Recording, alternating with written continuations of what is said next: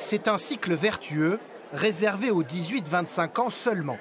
Le principe de Free est simple, que vous soyez étudiant, en recherche d'emploi ou en parcours d'insertion, la métropole vous prête un vélo gratuitement pendant deux ans. T'as juste à mettre le cadenas comme ça pour le bloquer. Comme ça, t'es tranquille. Depuis la rentrée, ils sont chaque jour une centaine à se précipiter pour récupérer leurs deux roues. En fait, le transport, c'est un peu cher. et je crois que c'est bien d'utiliser des vélos à la place du métro et tout ça. Je ne dépends pas des horaires du transport public. Et je vois la ville comme ça aussi. Les étudiants, c'est connu qu'on n'est pas, on pas les plus riches du monde, quoi. On, se débrouille du mieux qu'on peut. Et donc, euh, c'est la meilleure solution, quoi. Vraiment, je suis content d'avoir trouvé ça.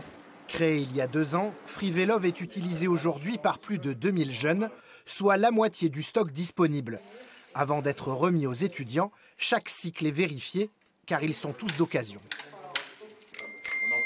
Ces vélos viennent partout en Europe. C'est des vélos qui sont reconditionnés et euh, du coup qui permettent en tout cas euh, la location euh, plus facilement. La seule chose, c'est que du coup, s'il y a des réparations, elles sont à la charge de l'étudiant. Jusqu'à la fin du mois, différentes campagnes de sensibilisation sont organisées dans les facs et dans les écoles.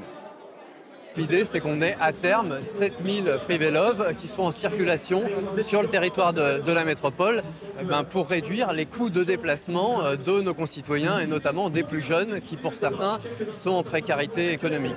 Attention, si vous oubliez de rendre votre vélo, il vous en coûtera 150 euros.